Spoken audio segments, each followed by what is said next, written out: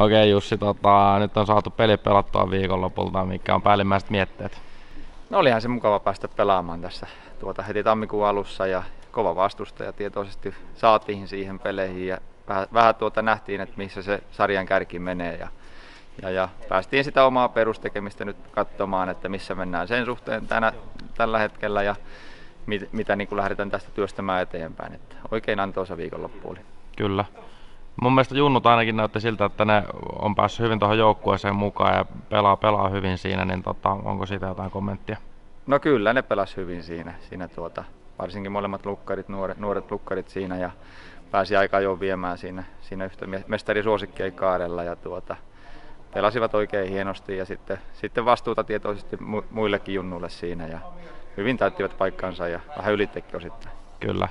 Tota, mitäs tästä nyt sitten eteenpäin jatkuu kevät?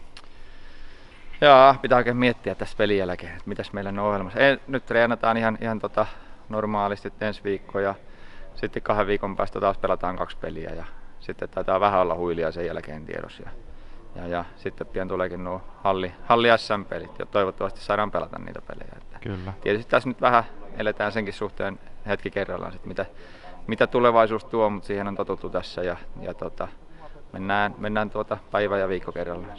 Tehdään näin. Ei mitään, oikein paljon kiitoksia ja tsemppiä jatkoa. Yes, kiitos.